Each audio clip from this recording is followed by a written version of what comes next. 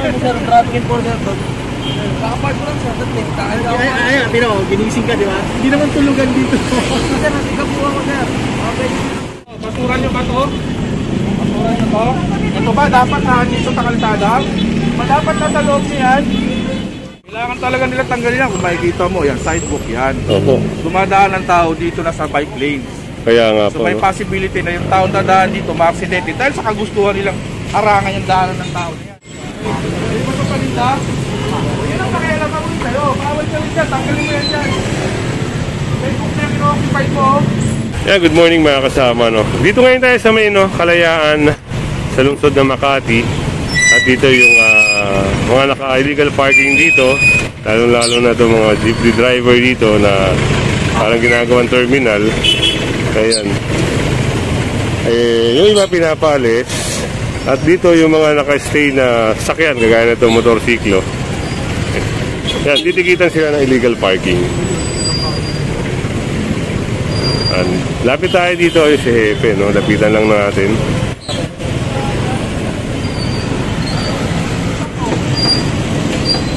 Tama ngayon natin si Hepe para dito sa operation na ito. Hindi mo ito palinda? O yan ang pakialam ako sa'yo. Bawal ka rin dyan. Tanggalin mo yan dyan. Facebook na yung ino-occupy mo. So, yun, pinapakalaman niya kasi yung operation, no? Pasok mo yan dyan. O tanggalin mo yan dyan. Tanggalin mo yan. Ikaw, ito rin. Tanggalin mo yung upuan mo dyan.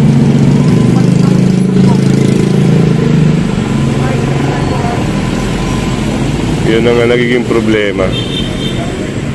At ito na, yung ah, mga titikitan dito. Sundan lang natin si Hepe.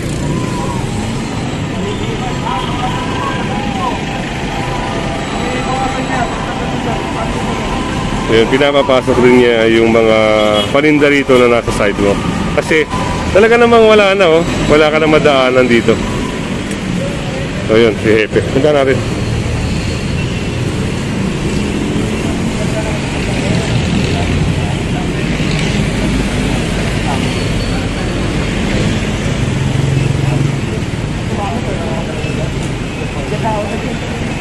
So yun, tinitikitan ha. At ah, sunod lang tayo sa unahan.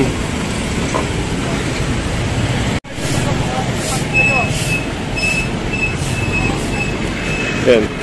Pagdating dito naman sa area na to, kailangan din nilang alisin.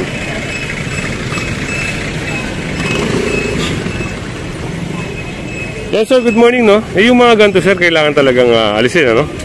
Kailangan talaga nila tanggalin yan. Kung makikita mo, yan, sidewalk yan. Opo. Dumadaan ng tao dito na sa bike lanes.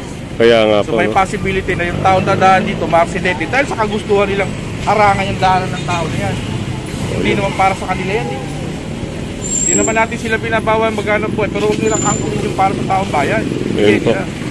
Yan, salamat sir no. yung ah, mamimili dito na sa kalsada. Eh, dapat dyan tatayo yung mamimili eh. Yung problema, kinukuha nila. Inaangkin nila. So, yun, narinig yung pahayag ni Sir Joey, no? Kailangan nilang alisin to kasi nakukompromiso yung mga dumadaan dito. Imbis sa sidewalk dumaan, eh sa bike lane na. So, uh, malaking chances maaksidente. Gawa ng uh, to yung inakupan nila yung sidewalk at ginagawa nilang uh, tindahan, no? Ito, may pili na to ah. Nakarangan mo, tanggalin mo to dito. Tanggalin mo. Yung basura nyo, ginagawa yung basura nyo, nakarangan mo rin yung bicycle eh. So, yun nga. Totoo naman, kung makikita nyo sa sa posisyon no, na may nakaharang na isang malaking ah, lagayan o isang box at bukod doon yung basura nasa bike lane na rin. Sana yung mga barangay nakikita rin to no, yung mga ganitong sitwasyon dahil uh, talagang delikado kagaya na si ate oh. imbis na sa sidewalk siya daraan ayan, sa bike lane na siya dumaan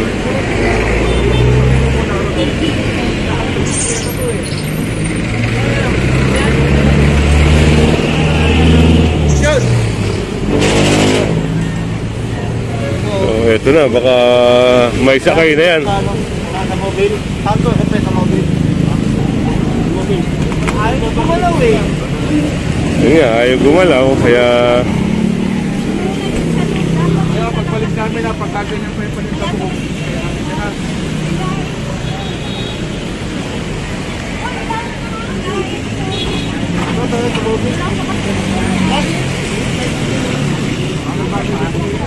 Mobile, atras mo nga dito yung mobile. yun na, baka nga may sakay nga itong iba rito. Kasi ayaw kumilos. Ayaw nila magsikilos. Pinagsabihan na sila kanina pa. Pero parang ah, nakatanga lang sila.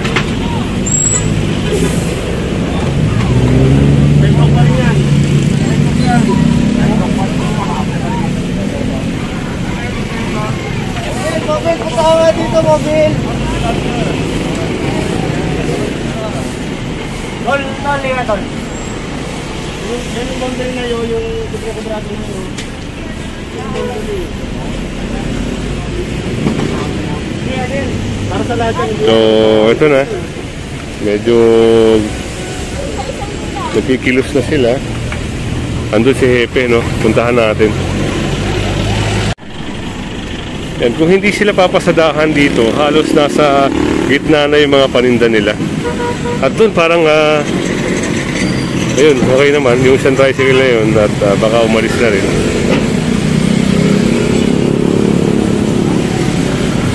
Kalayaan, no? Ah, Kalayaan Talipapa Market, mga kasama. Nandito tayo ngayon.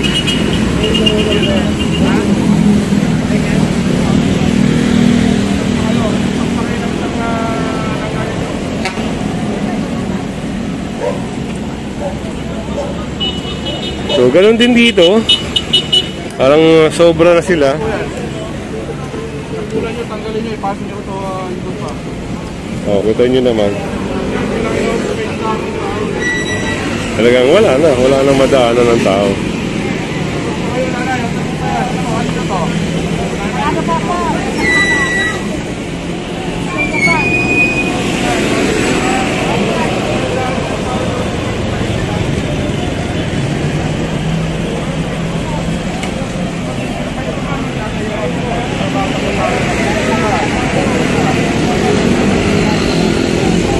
Ito.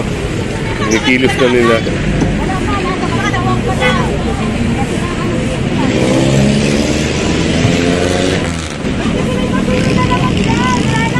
Ito nga yung basura na naka-stay dito. Ito, basura nyo ba to? Basura nyo to? Ito ba, dapat na dito sa kalsada? Ba dapat na sa loob niya yan? Pakitanggal nyo po ito. Basura nyo sa labas. Wala naman na lang po yan. Dito na nila iniiwan. Eh, dapat ah, kung kailan lang magdumaan ang basura sa kanila ilalabas.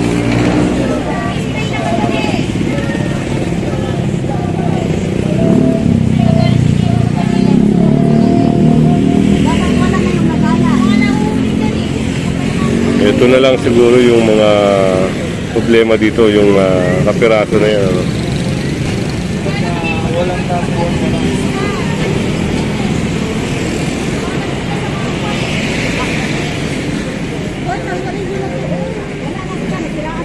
Problema, ah, wala pa tayong kasamang iskog. Kung may iskog tayong kasama, baka to, lahat ay may sakay. At doon din, no, napansin din ni Sir Joey ito. Yung, ah, eh, na ito. Mga nagtitinda rito ng dyaryo, saka ng buko. Ayan, no. Nasa, ano na sila, nasa mismong bangketa. Ayun, inaalis na rin pinapa tabi na sila para hindi na sila nakakasagabal.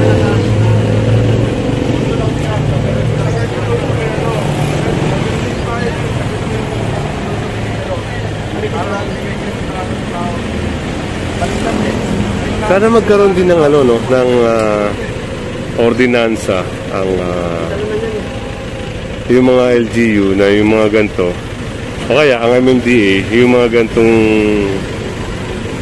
illegal vendor eh matikitan ka agad. At sana yung national ID ma-implement na rin Kasi yun ang kagandahan pag ah, may national ID na. So doon na sila magbe-base sa ID. Na talagang sila yung lehitimo may-ari ng ID na yun. So yan, sunod lang tayo sa operation. Dito naman sa area na ito, ayun, parang isang ah, van ang matitikitan.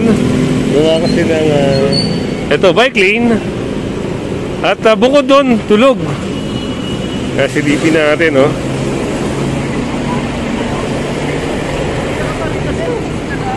Kinu- Kinukuha na kaya, ang dami mo nang kuha na ni truck picture dito. oh. Nakakita po ako ng traffic enforcer doon. Nakapark ko lang sa ako. Ay, ay, ay, tino, ginising ka, di ba? Hindi naman tulugan dito. Sir, natiga po ako lang sir. So, yun pala. Tulog pala si Kuya. Nakakabal naman po ako sir. Oo nga po sir. Alam naman. Sir, pwede nyo Wala pa ako may ticket sir. eh. Wala pa may ticket sir. Ito ah. May send ko, hindi kayo kapakitay. Kapakita sir. Sir, ito wala ko. Hindi nga po yung lugar dito sa lalaki sa kablo. Kita niya po ako pumarada na mag-hazard. Hindi niya po. Sir, pumasok. Venom! Sir, wala pa 5 minutes na ako, sir. Yung nakapark na traffic enforcer doon. Yan ba, dalaman niya? Sir, wala pa 5 minutes. Nakita nga po ako. Sir, ano sir? Kano lang ako ka na po 5 minutes, sir. Naman na, sir. May bawal na kanila.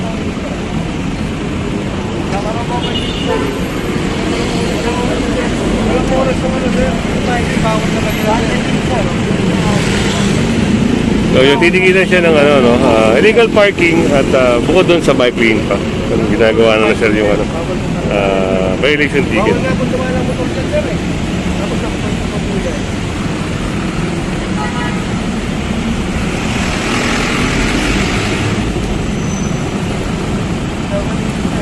So, sunod tayo sa pickup mga kasama. Dito naman sa area na ito, yung mga naka-standby na mga motorsiklo, eh, pinapalis. Pero kung halimbawa magmamatigas sila, eh yun, makatikitan sila. Yan, pinapasadahan kasi itong mga to.